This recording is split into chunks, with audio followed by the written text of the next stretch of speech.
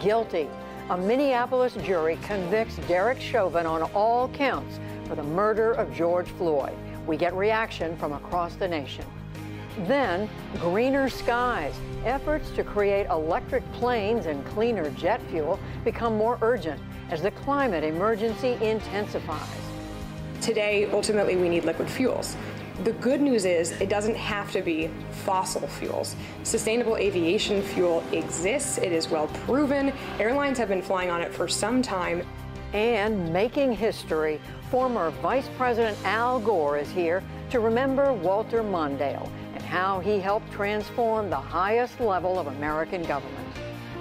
The model we established of executivizing the vice president, putting the vice president in there with the president, working with them all day long, as I did, has been the model since then. All that and more on tonight's PBS NewsHour.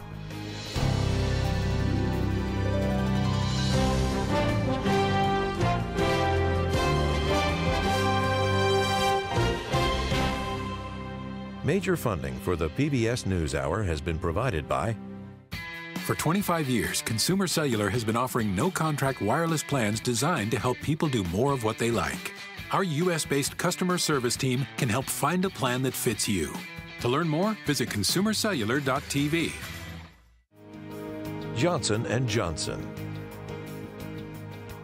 BNSF Railway.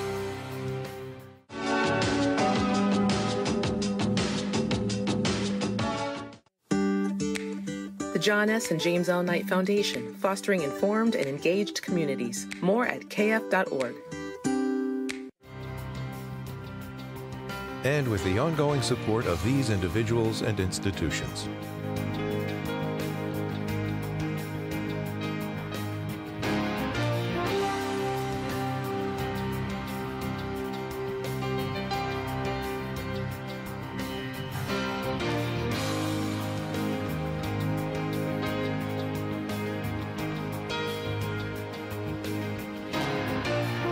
Program was made possible by the Corporation for Public Broadcasting and by contributions to your PBS station from viewers like you. Thank you. The verdict is in in the case that has riveted the nation, the trial of Derek Chauvin. The former Minneapolis police officer was found guilty today of killing George Floyd last May. The jury, six whites and six black or multiracial, deliberated just 10 hours, and the judge announced the result. Verdict count one, court file number 27 CR 20 12646. We, the jury, in the above entitled matter as to count one, unintentional second degree murder while committing a felony, find the defendant guilty. This verdict agreed to this 20th day of April 2021 at 1:44 p.m. Signed juror foreperson, juror number 19.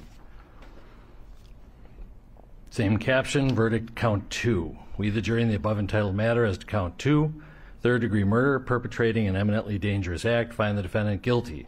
This verdict agreed to this 20th day of April 2021 at 1:45 p.m. Signed by jury foreperson juror number 19. Same caption, verdict count 3. We the jury in the above entitled matter as to count 3, second degree manslaughter, culpable negligence, creating an unreasonable risk, find the defendant guilty. An expectant crowd erupted in cheers and celebration outside the courthouse in Minneapolis as those verdicts were read in a case as, as rocked the nation. Minnesota's Attorney General Keith Ellison spoke minutes later. I would not call today's verdict justice, however, because justice implies true restoration. But it is accountability, which is the first step towards justice. And now the cause of justice is in your hands.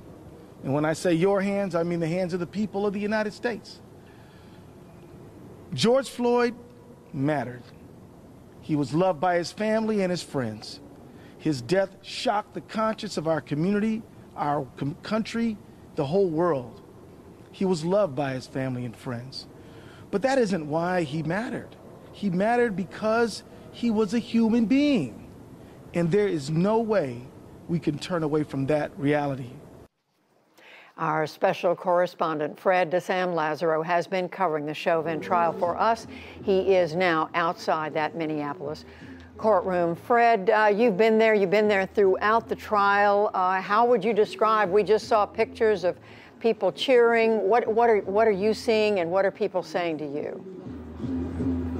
Well, Judy, I am at a distance where I could where I can hear you uh, because otherwise I wouldn't be able to. The party continues just a short hop from where I'm standing right now. There's a great deal of jubilation uh, that you referred to a little bit earlier. I suspect that's going to continue later into the evening and the wee hours of the morning here and in George Floyd Square, about three miles south of here. And I suspect in the broader Twin Cities area, there are a lot of people heaving a sigh of relief given that this is a city that's been boarded up in anticipation of the alternative, and a lot of people dreaded what that might have brought onto the streets.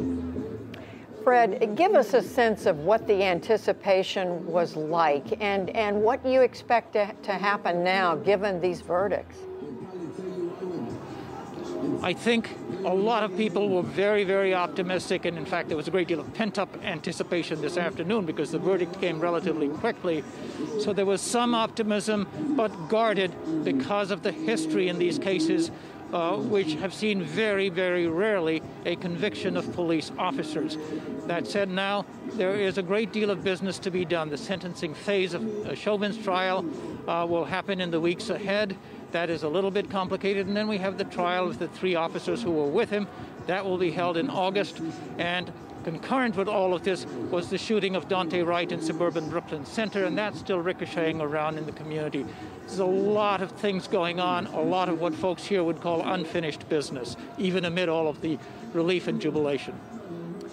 Fred DeSam Lazaro, who has been on the scene covering this, and I know, Fred, you're going to continue to cover uh, as we go forward. Thank you Fred DeSam Lazaro. And Amna Nawaz now gets reaction from a community leader in Minnesota. Amna?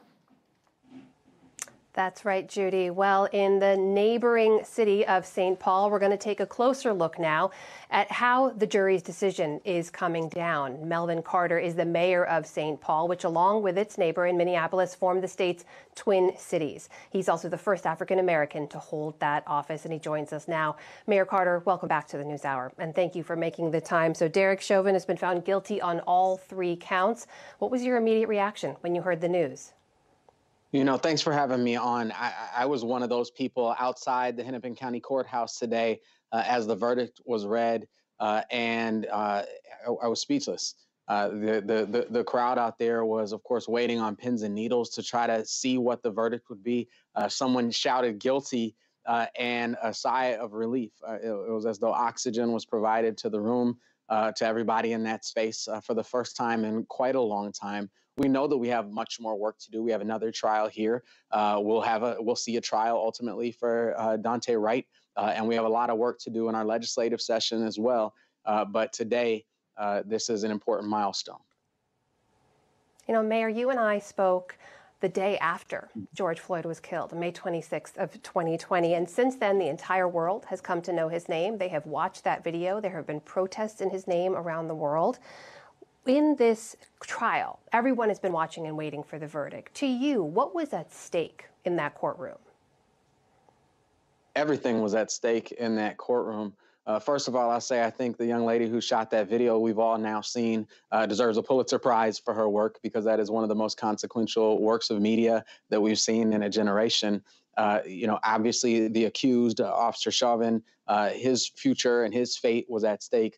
But far more than that, as the rest of the world looks at this atrocious act uh, that any civilization throughout the course of history anywhere could look at and say, that's wrong, that's murder. And we had to sit on pins and needles for almost a full year to learn whether or not our legal system had, system had the capacity uh, to convict someone and hold someone accountable. It's not to be taken for granted. We saw Eric Garner, who was choked to death uh, who said, I can't breathe 11 times, uh, and no one was held accountable for his killing. Uh, we've asked ourselves time and time again, how bad does it have to be? Uh, how brazen does it have to be? How, how well documented does it have to be for someone to be held accountable? We've established, I think, hopefully a baseline today. We have a lot of work to do to build on top of that baseline, but it gives us an opportunity to start looking up and moving toward a brighter day in our country. As you mentioned, there are other trials ahead as well. You and I last spoke um, a year ago, or rather last May, and you'd mentioned, of mm-hmm. course, there were other officers there. And those three other officers who were on the scene will also face trials. Uh, we believe they're scheduled for August now. What do you believe this verdict holds for accountability in those cases? You know, I, I don't know. Uh, those officers, of course, have their day in court, they have their due process as well. Uh, what I shared with you then is what I continue to believe now. Uh, is that you know the fact that you know every time something like this happens somebody might want to say well this is a bad apple. This is one act of an individual person. But the fact that you had officer derek chauvin uh, who the jury has now confirmed murdered uh, george floyd uh, and has been convicted of that murder. And while he did it there were three other officers uh, guarding the scene holding people back uh, helping hold george floyd down. That speaks to a culture that we must address, that we must eradicate in our communities. This is about uh, seeing justice in a courtroom. But as one of the young men who was speaking out at the rally today said, justice is living in a world where George Floyd was never murdered in the first place. So this is about seeing justice in the courtroom, but then it's also about seeing justice in our police practices. It's about seeing justice in our legislation. It's about seeing justice in case law. We have an enormous amount of work to do from there. And I'll tell you, in my mind, and certainly on the minds of the folks I saw outside at that rally today, uh, our minds are all on all of that that enormous body of work ahead. Mayor Carter, in a few seconds we have left, as a leader in your community, as an elected official, when you look back at the trauma of the last year, people watching this video over and over, the stress and anxiety of waiting for a verdict, and now this one moment today, this one moment of accountability, how do you lead your community forward out of this? You're right. It's been an enormous amount of trauma. In that moment, when that voice shouted guilty, and all around me, uh, some people uh, were were happy and started smiling. Some people just burst out in tears. Some people dropped to their knees and started praying at all at the same time. Uh, we have a lot to knit back together. We have a future to build. We've committed ourselves already through this uh, framework that we call our community first public safety framework that says we need a public safety framework that's a lot more proactive than we've seen over the past generation. I'm fortunate to serve a community that's already been all in on this work far before George Floyd was murdered, and we're going to continue to push that body of work forward. Mayor of St. Paul, Minnesota, Melvin Carter, joining us tonight. Thank you for your time, Mr. Mayor. Thank you. We take a broader look at this moment now with Chuck Wexler. He is the executive director of the Police Executive Research Forum. It is a Washington, D.C. based think tank. And Janai Wilson, or I'm sorry, Nelson, who is the associate director counsel of the NAACP Legal Defense and Education Fund. Ms. Nelson, Mr. Wexler, thank you both uh, for being here. I want to start with you, uh, Chuck Wexler someone who has studied the police has seen time and again police uh, found not guilty in cases like this, uh, cases where someone died. How, how are you reacting right now? Well, you know, it, this case was a defining moment for policing. Uh, this was so egregious. The, the use of force here was so clear and so clear cut that for the last 11 months, first of all, you know, the condolences go to the Floyd family, number one. But for every working cop that saw that video over and over again, nine minutes, they thought to themselves, why, what was that cop thinking? And, and that's taken a toll on the country. It's taken a toll on the Minneapolis community and communities all across the country. I think there's not a police chief, a cop I know of that didn't want this police officer found guilty. I mean, it was so egregious and and so bad in so many ways. But I think this is a turning point because I think what you saw in Minneapolis in the trial is you saw the police chief, you saw the most senior homicide person, you saw all of the cops on the same side of justice. And I think that was the turning point. This was very different from the Rodney King situation in which you had differences of opinion. Today, I think the community and the cops are on the same side. Janai Nelson, uh, who is someone who works for an organization, the NAACP, that works for uh, toward equality uh, for all Americans. Uh, how, how are you seeing this verdict?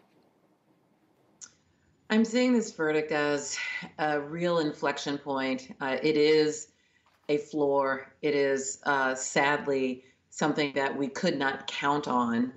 This conviction was well deserved. It is something that should have been beyond any doubt.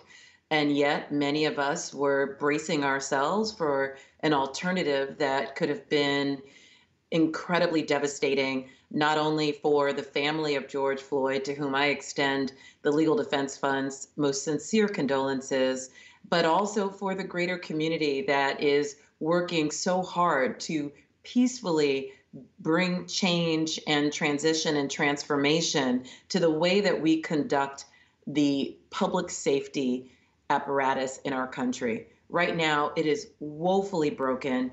It is clear that even with a conviction like the one we saw today, that is not a panacea. It is not a solve for the murders and uh, killings and other forms of violence that continue to be visited upon Black and Brown communities, as we saw in the Daunte Wright case, as we saw in Adam Toledo's case, and the many others that preceded it, including Breonna Taylor's from last year, that also drove people to the streets. Chuck Wexler, will policing change after this? I think it's going to take a lot of work. I think uh, I know people are motivated to change. I mean, this is a defining moment this entire year, all the, the cases that we've talked about. But we need to really be tough and we need to be tough on ourselves. We need to be prepared to look at these videos and say, what could we do differently? But you know what? I worry about who are going to want to be the cops of the future. This is a difficult job you know, when you're in crisis, there's nothing better than the good cop, and there's nothing worse than the bad cop. But we have our work cut out for us. But I do believe that today, today was a defining moment. Justice prevailed, but I think we've got our, our work cut out for us in developing cops of the future. Janai Nelson, from your perspective, how do you see the work that lies ahead? What are the next steps that need to come after this verdict? Well, we need to work on two tracks. We need to continue to work on police accountability because police are not going away tomorrow. They are with us uh, for the near future. And we need to make sure that while they are continuing to work in our communities, that they are treating everyone fairly, that they are not engaging in wanton violence, and that they are held accountable. But we don't want accountability after the fact when there have been violent episodes and the loss of life.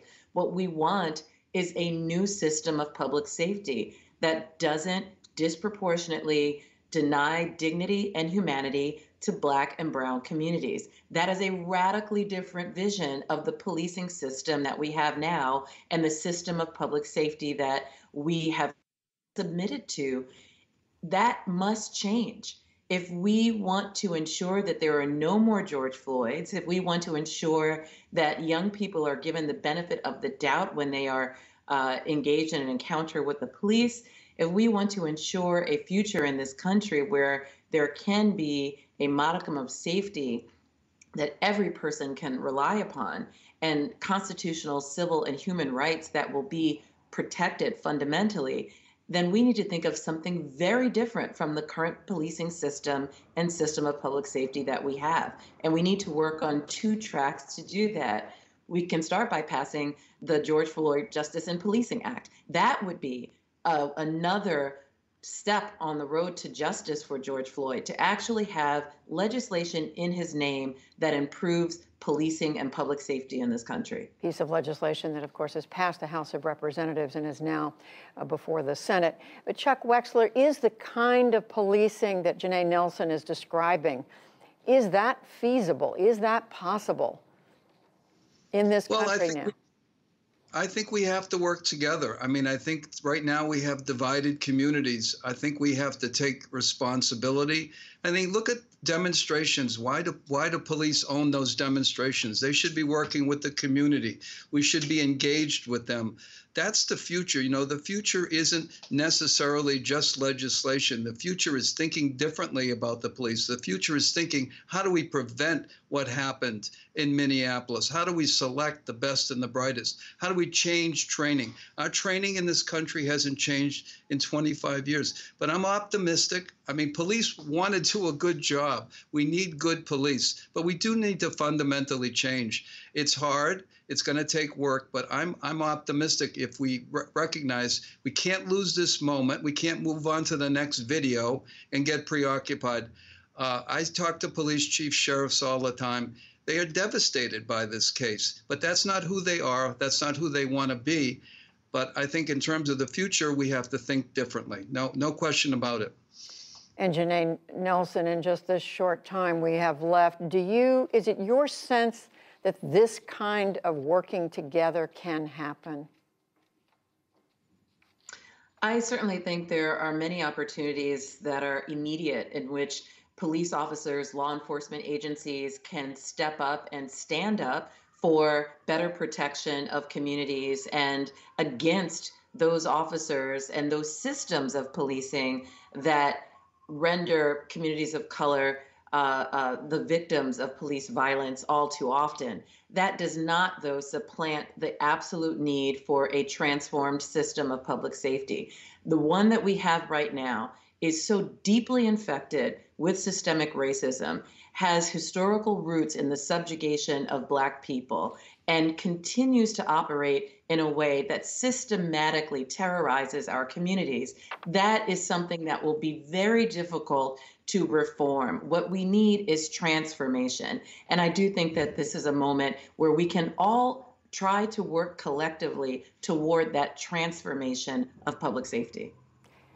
Janai Nelson, who's with the NAACP Legal Defense Fund, Chuck Wexler, who is Executive Director of the Police Executive Research Forum. We thank you both. Thank you. Thank you.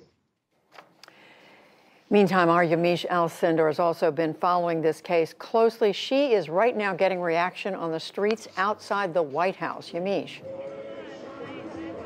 Well, Judy, here in Black Lives Matter Plaza, there is a sense of bittersweet relief. There's relief that the video of Derek Chauvin kneeling on the neck of George Floyd for 9 minutes and 29 seconds, that it is now, uh, the, the, consequence of that is him being a convicted murderer. Uh, but people here tell me that justice would be George Floyd still being alive. Justice, they tell me, would be black Americans in this country not being some three times more likely to be killed by the police than white Americans. That is the reality that people face. And while I hear from people that they are very pleased with this verdict, my understanding is that people here say that this has to be the beginning of the change, that this can't just be one case, that it needs to be systemic change. And I also have to tell you that I've been hearing names of other people who killed, got killed by the police, including Breonna Taylor and Tamir Rice and so many others. It is so rare for an officer to be convicted, and people feel that today. And I have to also tell you, people still feel so hurt by what this country just endured over the last year. Remember that people started gathering here at Black Lives Matter Plaza because of the death of George Floyd, and now people are here celebrating a bit, but still very much hurt, still very much traumatized.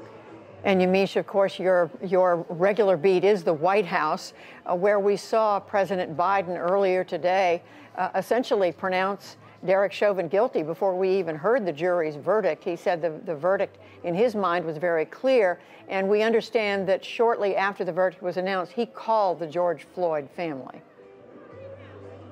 That is right. We are told that the president, as well as the vice president, watched this verdict happen in real time at the White House, and that soon after, President Biden phoned the brother of George Floyd. Earlier this today, the president did say that he was praying for the right verdict. He also said that there was overwhelming that this officer should essentially be convicted. The White House was being trying to be a bit cautious after the president said that, but we now can report that the president feels relieved that the president is calling this family a family that he says he's grown close to, a family that he says understands him and understands the loss that he's endured as someone who's lost his own children. So here's the president again reaching out to the Floyd family. Um, again, we're supposed to be hearing from the president at some point later this afternoon afternoon. And I can imagine that White House officials tell me we will hear from a president who is empathetic, who is going to be able to say that this is a sense of loss, that even though this verdict went right, um, that there's still a sense that there's going to be someone missing at that dinner table and that George Floyd, the brother, the uncle, the father, he will be sh- definitely missed and that this country has to do better, that there could not be another George Floyd after what we've just endured. And Yamiche just quickly, how much uh, effort, muscle do you believe from your reporting the president is going to be putting behind this, this uh, police reform legislation in the Congress right now? From my understanding, police reform in this country is a top priority of President Biden. The issue, of course, is that there is legislation moving through Congress, but that the Senate is so closely tied that Republicans can't get on board. They don't see a way to get legislation through. So I'm told that Senator Booker, as well as Senator Tim Scott, two African American men who are serving in the Senate, they are working on this legislation together. And I'm told that President Biden is going to be involved in those talks, going to be involved in trying to get the George Floyd Justice and Policing Act pushed through. And in this moment where people are now top of mind, where George Floyd is top of mind, mind, um, there's a sense that maybe some sort of bipartisan legislation on policing can get through, given that this officer is, of course, now convicted. There is a sense now that there is a line that police cross and that both sides of the aisle should be able to get on board in some way to say we can do better as a nation. Yamiche Alcindor, very close to the White House right now at Black Lives Matter Plaza, just a block or so away uh, from uh, where the White House is. Yamiche, thank you very much. Thanks so much.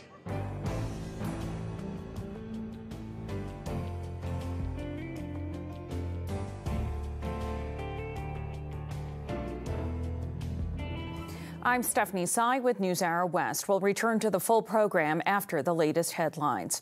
Updating our top story, President Biden did react to today's verdict, saying it was a step towards justice. He spoke alongside Vice President Kamala Harris, the first black person to hold that office.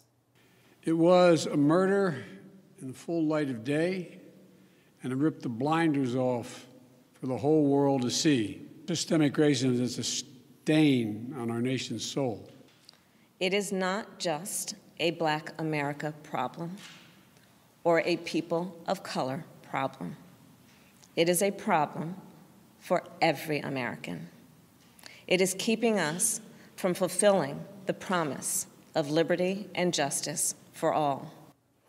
In related news, Democrats in the U.S. House of Representatives blocked a vote on censuring Congresswoman Maxine Waters.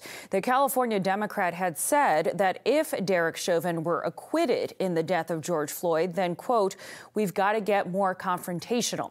Republicans argued she was inciting violence. Waters denied it. Latino lawyers and community leaders in Chicago called today for a federal investigation of the police shooting death of Adam Toledo. A Chicago officer killed the 13 year old last month after a chase in a dark alley. The Latino leaders also demanded an accelerated overhaul of policing. The killing of Adam Toledo at the hands of the police brings to the forefront the pressing needs to address the Chicago Police Department enforcement policies and practices in the Latino community. We cannot leave it up to the police department to investigate itself and expect meaningful reforms.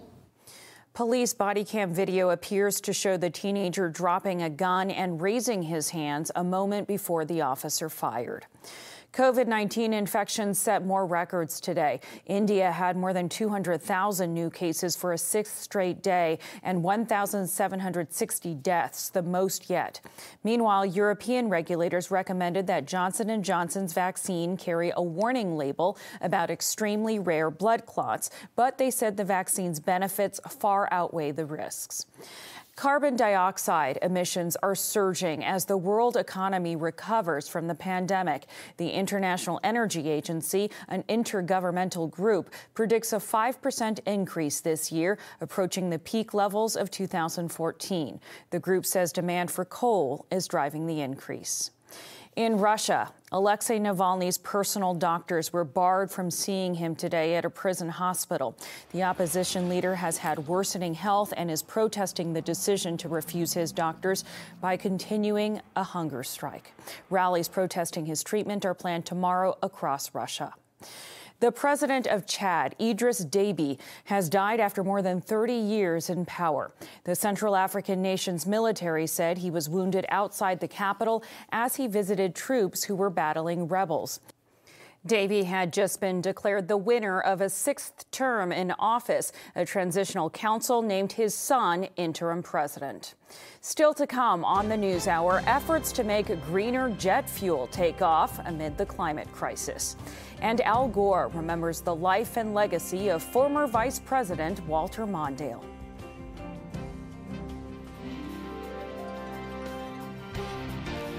This is the PBS NewsHour from WETA Studios in Washington and in the West from the Walter Cronkite School of Journalism at Arizona State University. Air travel is picking up steadily as more Americans get vaccinated. But while that may be good news for the industry, it's bad news for the creation of more emissions and climate change. Miles O'Brien looks at efforts to reduce those emissions and to help airlines fly greener skies.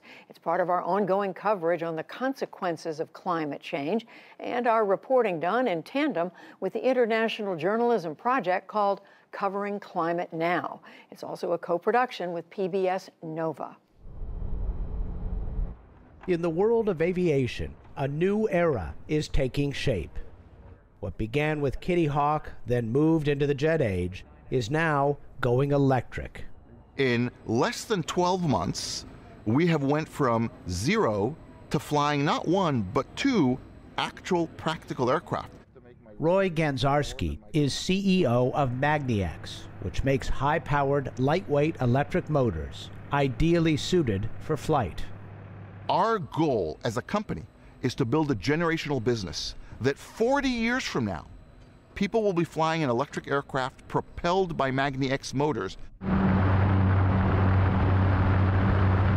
In May of 2020, they flew this Cessna Caravan retrofitted with one of their motors. It's a milestone, but also a baby step. A Caravan with a turbine engine can carry nine people 900 miles. The batteries on this plane limit the payload to four people, the range to 100 miles. So, is it too soon to be practical? That's not the question. The right question is Does anyone need a caravan that can take today four people 100 miles? The answer to that is yes. Pound for pound, liquid fuel contains 16 times more energy than the best batteries. So, while short hops on smaller planes may be possible, the batteries needed to fly big airliners on long flights would make the plane way too heavy. Karen Thole heads the mechanical engineering department at Pennsylvania State University. I think it's not really within our my lifetime that we're going to get to a fully electric aircraft that is a maybe a twin aisle large aircraft that can fly across the ocean. Globally, the aviation industry burns 90 billion gallons of jet fuel a year, contributing between 2 and 2.5 percent of human caused greenhouse gas emissions. We are at a crisis right now. We need to come up with new solutions. And those solutions are still going to take a long time to penetrate the entire fleet. Many airlines are offsetting emissions by funding carbon reductions elsewhere, so called carbon credits. Sarah Bogdan is head of sustainability at JetBlue. Today, ultimately, we need liquid fuels. The good news is it doesn't have to be fossil fuels. Sustainable aviation fuel exists, it is well proven. Airlines have been flying on it for some time, including JetBlue. Today, airliners fueling up in California use 4 million gallons of sustainable fuel a year. One supplier, Neste, refines its green fuel from used cooking oils. It reduces carbon emissions by as much as 80% before it is blended with fossil fuel. Our goal is to have over 100 million gallons of sustainable aviation fuel in the market by the end of 2025. So that's a big jump, uh, but we still got to get to 90 billion. Jennifer Holmgren is CEO of LanzaTech, a Chicago company focused on making fuel and all kinds of other products with recycled CO2 captured from smokestacks at steel mills. So, this is probably the largest dedicated gas fermentation laboratory in North America. Biologist Sean Simpson co founded the company in his home country, New Zealand, 16 years ago. They are harnessing the power of an ancient microbe called Clostridium autoethanogenum, first isolated in rabbit droppings. They began exposing it to the gases that are belched from smokestacks at steel mills. At first, it was a finicky eater, but over time, the microbes started devouring the waste during a fermentation process, creating ethanol. It is like uh, a brewery. it's, it's, it's as simple as that. In traditional fermentation, we feed sugar in. In our case, our organisms don't eat sugar, they eat gases. We built the, the, the brewery of tomorrow that hopefully will save our bacon. The technique can make all kinds of smokestacks and landfills a source of recycled carbon.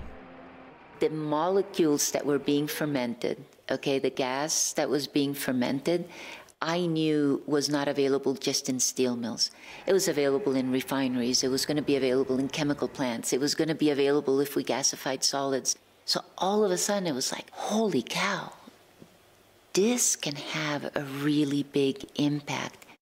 LanzaTech has worked hard to scale up the process. One commercial plant is operating in China, and two others are under construction. There are two more being built in India and Belgium. The Pacific Northwest National Laboratory found a way to convert the ethanol into jet fuel. LanzaTech spin off LanzaJet hopes to produce 10 million gallons a year at a plant in Georgia by 2022. The idea that you can turn the CO2 waste out of a steel mill into fuel is positively magical, isn't it?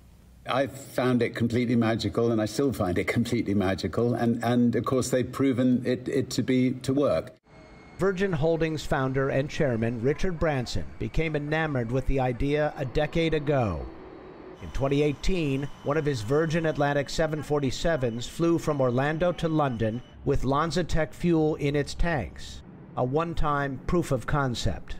Tell us about why you did that and uh, what that proved.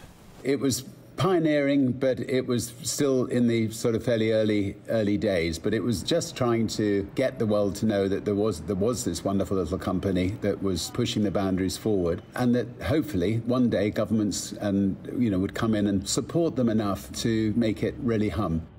Sustainable aviation fuel comes with a premium price, in some cases, twice its fossil fuel counterpart. In California, the business model works because the state has passed laws incentivizing fuel suppliers like Neste to refine fuel with less carbon and sell it to JetBlue and others. California has been an incredible proof point of how how these fuels can grow and become um, lucrative and be available to the customers who are looking for them. We're supportive of additional states adding incentives and then also from a federal perspective so that we can see it more broadly. So long as people choose flights based on the lowest fare, carbon neutral fuels will have a hard time taking flight without some incentives. But it is a proven way to start picking some high hanging fruit in the climate change challenge. For the PBS NewsHour, I'm Miles O'Brien in Skokie, Illinois. Nova's documentary, The Great Electric Airplane Race, premieres May 26th at 9 p.m. Eastern, 8 p.m. Central on PBS.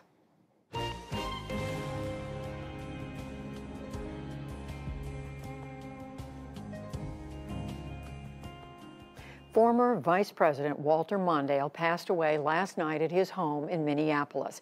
He was a lifelong public servant who transformed the role of vice president and championed civil rights under President Jimmy Carter before losing his own run for the presidency to Ronald Reagan. William Brangham has this look at Mondale's life and legacy. Thank you very much. Thank you. He stood as the standard bearer for liberal values against a conservative Republican icon. We didn't win, but we made history, and that fight has just begun. Walter Mondale lost that fight in 1984 to incumbent Ronald Reagan in a landslide of historic proportions. He'd risen to the top of the Democratic Party during what he called the high tide of liberalism, only to watch as that tide went out.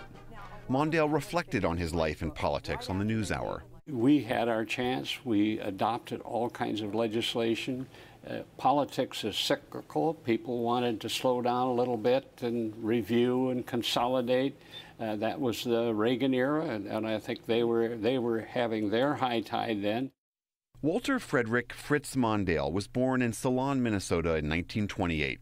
He started early in politics as a 20 year old working on the Senate campaign of fellow Minnesotan Hubert Humphrey. After college, Mondale spent two years in the Army before heading to law school. And by the age of 32, he was named Attorney General of Minnesota. He stepped onto the national stage when then Senator Humphrey won the vice presidency in 1964, and Mondale was tapped to fill Humphrey's Senate seat and then elected to a full term two years later. Once in Washington, he championed the Fair Housing and Civil Rights Acts. While it was partisan, we had our debates and all that stuff, there was a kind of an underlying sense of civility. Then, in 1976, Jimmy Carter made the now seasoned senator his running mate on the Democratic presidential ticket. The outsider Carter relied on Mondale as his guide to Washington's political workings, and Mondale expanded the traditional role of vice president from figurehead to partner. The two men look back on the relationship in a 2015 tribute. I wanted to be uh, a troubleshooter as well, and I wanted to do uh, take on chores around the country and around the world. As a Georgia peanut farmer, I needed a lot of help. and I felt the vice president would be the best one to give me the help I needed, and I never had served in Washington before. Mondale traveled the world, promoting the Carter administration's foreign policy, including trips to help broker a peace deal between Israel and Egypt. Never have the prospects for peace been so favorable. Never have the dangers of failure been so great. He also strongly disagreed with President Carter at times. He argued vehemently against the president's 1979 crisis of confidence speech and against a grain embargo on the Soviet Union. Mondale talked about his trailblazing term with the NewsHour's Judy Woodruff in 2010. The model we established of executivizing the vice president, putting the vice president in there with the president, working with him all day long, as I did, has been the model since then. As oil prices skyrocketed and the Iran hostage crisis dragged on, the Carter administration foundered. Thank you. In 1980, Ronald Reagan took the White House from Mr. Carter after just one term. Mondale returned to private life, but he geared up for his own presidential run. After a fierce primary battle with Senator Gary Hart and civil rights activist Jesse Jackson, Mondale won the Democratic nomination in 1984. Then, facing Reagan, who was now a popular incumbent, Mondale made a bold move, naming Congresswoman Geraldine Ferraro as his running mate, the first female vice presidential candidate on a major party ticket. I've had many people tell me it's the best national convention we've ever had. People were thrilled.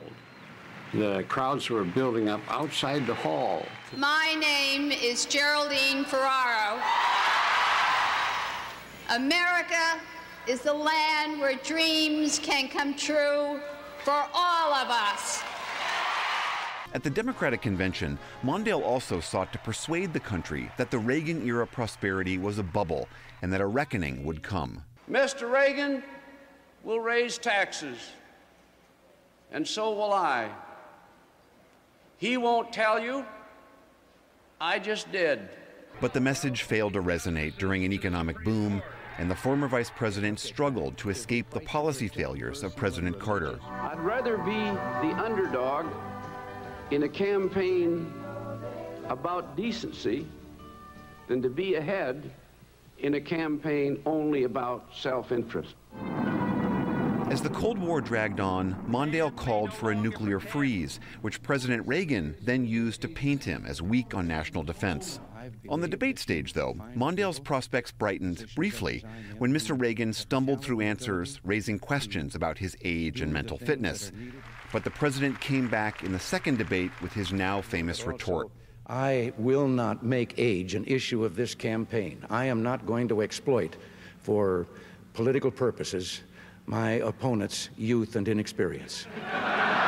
Even Mondale joined in the laughter, but later said that was the moment he knew he'd lost the election. Indeed, on election day, it was a crushing rout. Mondale lost every state but his home state of Minnesota and the District of Columbia. Although I would have rather won,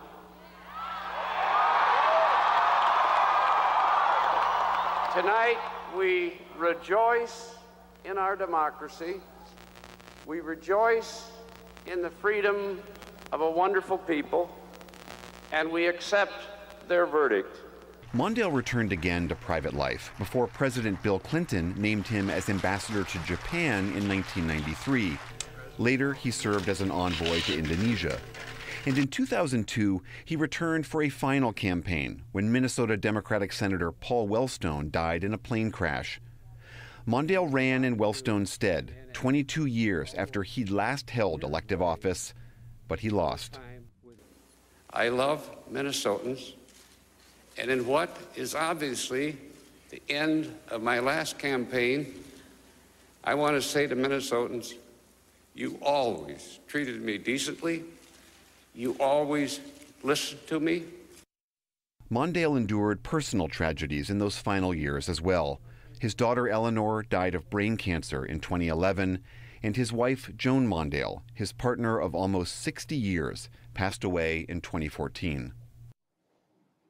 Walter Mondale was 93 years old.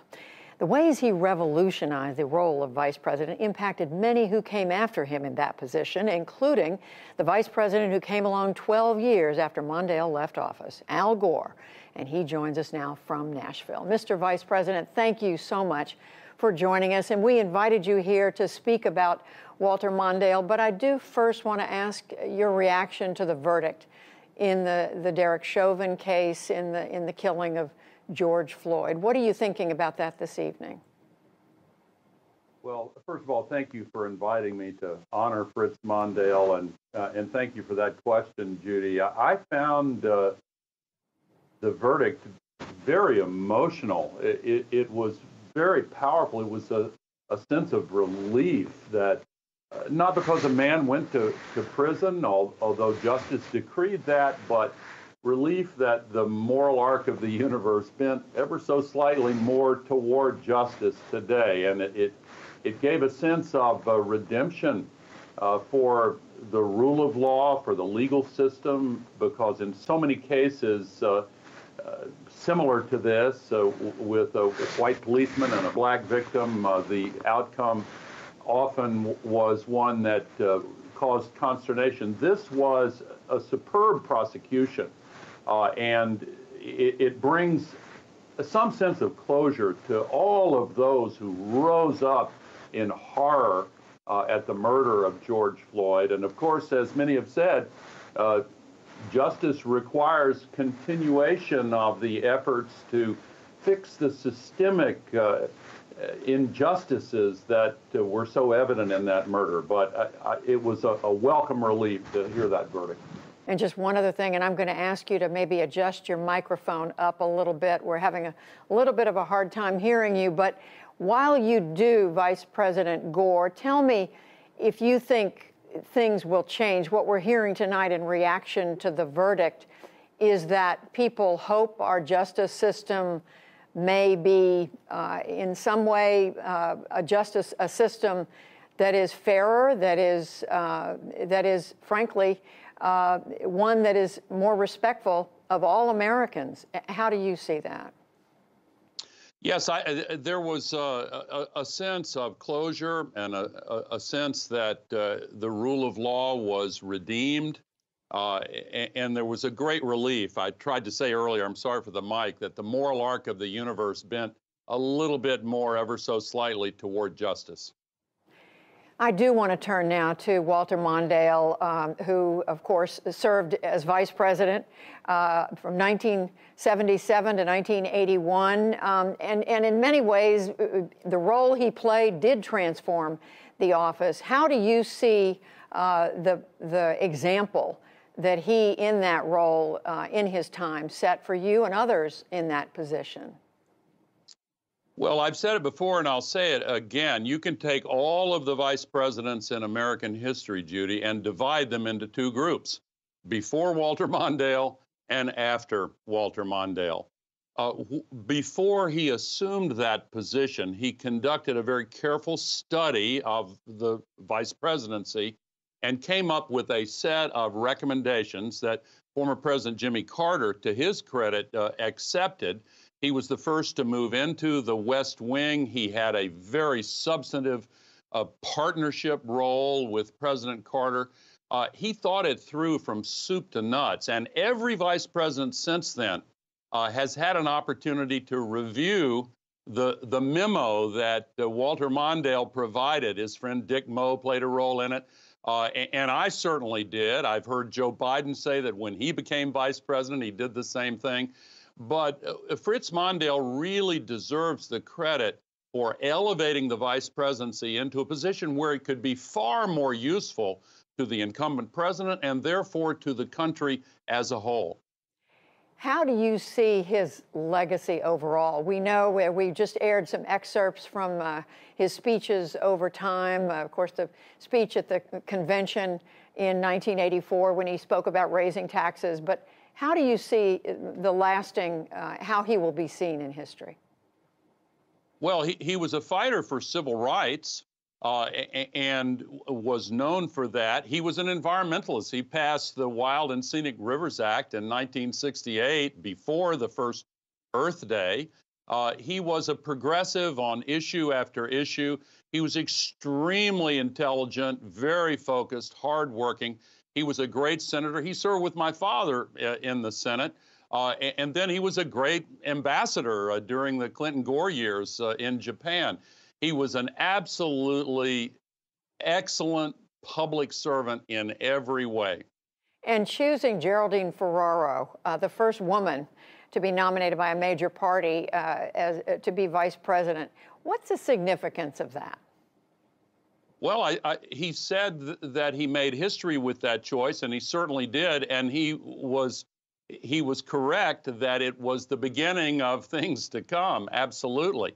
Uh, and we might not have a woman as vice president today, except for uh, Fritz Mondale's uh, political courage. It, uh, hard to think back that it required such courage, but it did. Uh, and he he broke new ground and paved the way for women to rise to their rightful position, uh, whatever position they seek. In today's uh, very rough and tumble, highly polarized, uh, partisan political environment, Vice President Gore, how do you, how does what Fritz Mondale stood for, how he, how he worked his way uh, in the world of politics, how do you see that as a contrast? Um, what, what does it look like to you? Well, you know, uh, uh, when uh, Ronald Reagan made that famous uh, quip during uh, their last debate, I always focus on Fritz Mondale just laughing uproariously at the line. Eh, because it uh, is, it gives you a sense of the fact that he could rise above partisanship and conflict. And he was that way in the United States Senate. He was that way as vice president. It was a different era, of course.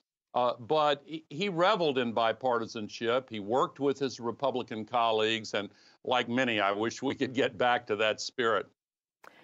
And certainly, we saw him graciously uh, concede uh, when he lost the race in 1984 for president. Vice President Al Gore, thank you so much. Very good to have you. Thank you, Judy. And we return now to our lead story, and that is the guilty verdict in the trial of Derek Chauvin for the murder of George Floyd. Shortly after the judge read the decision, Floyd's family received a call from President Biden. Earlier today, he said he prayed for what he called the right verdict. The president spoke to the family and recalled what George Floyd's daughter, Gianna, once said. Feeling better now. Nothing is going to make it all better, but at least God, now there's some justice. Right. And you know, I think uh, I think a John is coming. My dad is going to change the world. He's going to start to change it now. That's right. Yes. yes. We close tonight. That was Of course, uh, President Biden on the phone with the Floyd family, and we close tonight with the words of George Floyd's family and of their attorney, Benjamin Crump. They applauded the decision, but they also spoke of bigger challenges and said the larger fight for justice isn't over. This is a victory for those who champion humanity over inhumanity, those who champion justice over injustice, those who champion morals over immorality. America, let's lean into this moment. It seems like this is a never ending cycle. Yeah. yeah. Reverend Al always told me we got to keep fighting. Mm-hmm. Right. I'm going to put up a fight every day because I'm not just fighting for George anymore. I'm fighting for everybody around this world. Yeah. I get calls, I get DMs, people from Brazil, from Ghana, from Germany, everybody, London, Italy, they're all saying the same thing. We won't be able to breathe until you're able to breathe. Oh, that's right. Philonise Floyd, the brother of George Floyd, and before him, Benjamin Crump, the family attorney. And that is the News Hour for tonight. I'm Judy Woodruff. Thank you. Please stay safe, and we will see you soon. Major funding for the PBS NewsHour has been provided by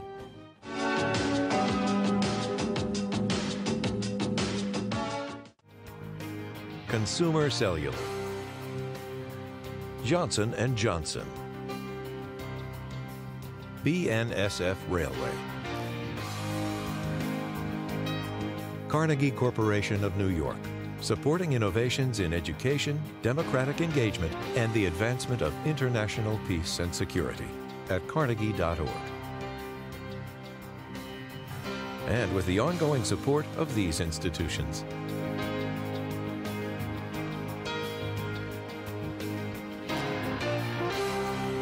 This program was made possible by the Corporation for Public Broadcasting and by contributions to your PBS station from viewers like you. Thank you.